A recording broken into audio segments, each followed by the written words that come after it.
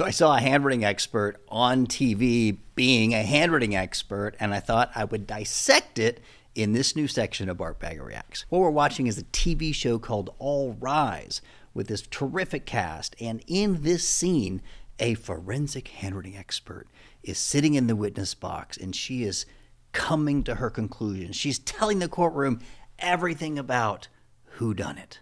So see if you can comprehend what the heck she says that there is a clear agreement between individual letters. And how is that significant? Oh, well, interesting. I'm sorry I have to interrupt. Miss Larson, if I asked you if this was the defendant's handwriting and you had to give a yes or no answer. If you would just allow the witness to The witness is giving us a lot of fancy jargon, but at the end of the day, handwriting analysis, much like a judge's decision, is vulnerable. Handwriting analysis is an accepted science, Your Honor. Your...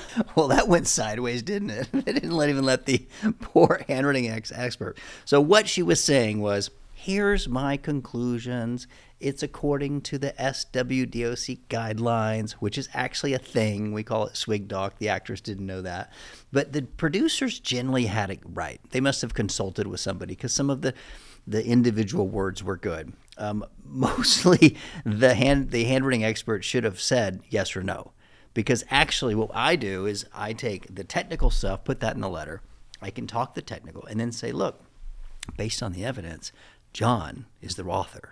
So you have the ability to just identify, yes, you wrote the note, no, she didn't. But the weird thing about it is, according to all the scientific, we're actually deciding if the person who wrote this set of handwriting exemplars wrote the offending note since we didn't watch this person write. Well, one time I did. I went down to prison and watched this guy actually write. So I could literally say, like, I know he wrote that, therefore he wrote this, you know, ransom note. But generally, it's like the documents of A. It sounds so confusing. So I love this show because the judge is like, hey, stop all the fancy terminology. Did he write the note or not? Love that. So the actress in this show is called Simone Messick. She's the judge. She's tough. She's right there in Los Angeles dealing with the court. And I've testified in that same courthouse like a hundred times. Well, it's a TV courthouse, but the real courthouse a hundred times. And I love the show because procedurally it's good, the acting is good, and they have these really gritty cases. So my assessment of All Rise, producers, writers, actors all together, thumbs up. I think you did all right.